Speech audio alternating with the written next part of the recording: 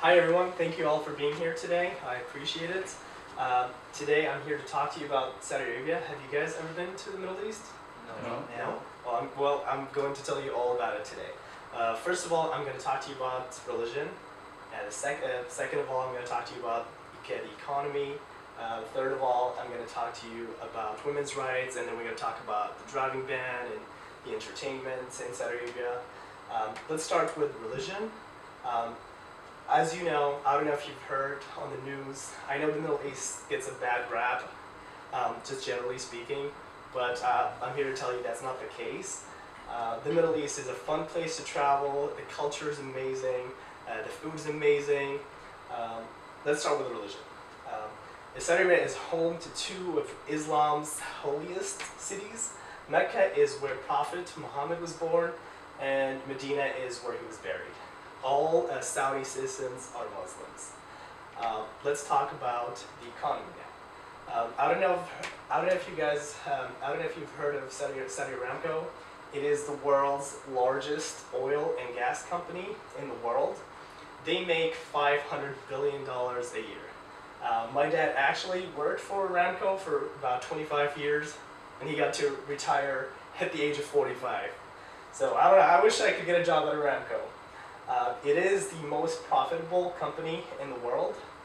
Um, it is it's a great company to work for.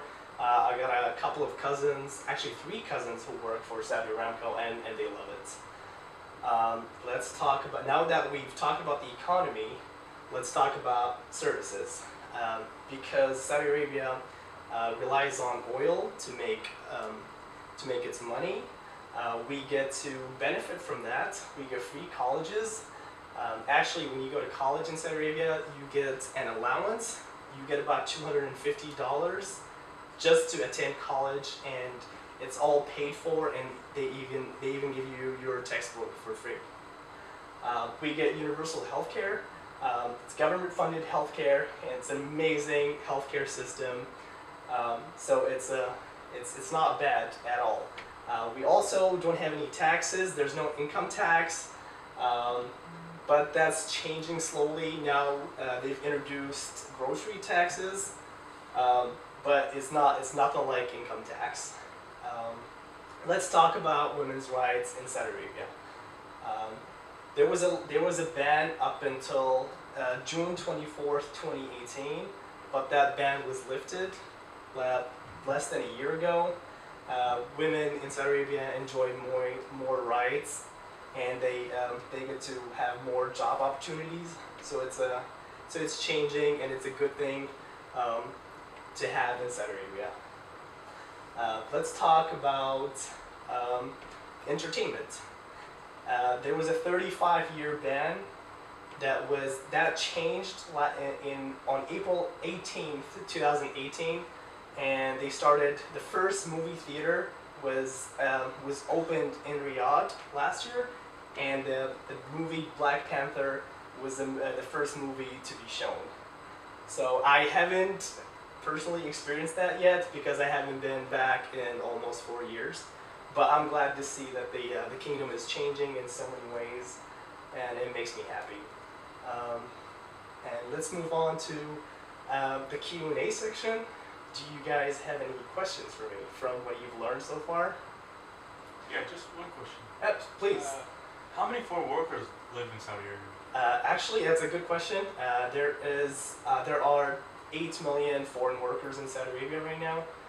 Um, the majority of them um, come from countries like the U.S., the U.K., uh, Australia, uh, India, and uh, it's great to see that in, in so many ways because you get to see diversity in the workplace.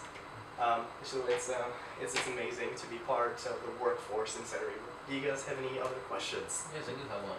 Please. Is it okay for non-Muslim to go over there? Absolutely. Uh, you can go visit. They started issuing tourist visas uh, very recently, but you just can't, unless you're Muslim, you can't visit Mecca or Medina. But other than that, you can visit anywhere else. You can just enjoy what the country has to offer. Uh, there's so much history. There's a lot of desert. There's massive shopping malls. So it's just it's great. You should you should yeah. If you haven't been in the Middle East, I highly suggest that you go and visit and, and enjoy it. do you guys have any other questions? Yes, yeah, you said that your father worked at Saudi Aramco. Correct. So is it easy to get a job at Saudi Aramco for Saudi citizens or foreign workers? Uh, actually, it, ro- it it really uh, depends on your uh, qualifications and experience. Um, if I mean, if you if you had a U.S. degree that uh, that, that definitely counts for something. Um, but yeah, it depends on your experience. It um, they definitely try and attract more foreign workers um, to, to, to come and live in Saudi Arabia. I actually I was actually friends with um, a few Americans back in the day. Um, so yeah, I mean, yeah, please, you know, if you wanna, you know, if you wanna apply, go for it. Check out, check out their website and and see for yourself. Any other questions? Well, thank you all for coming here today. I hope you uh, you've enjoyed my presentation. I, I I really hope you've learned something. And if you have any questions, like uh, any questions that come later on, just uh, just uh, just ask me. Thank you.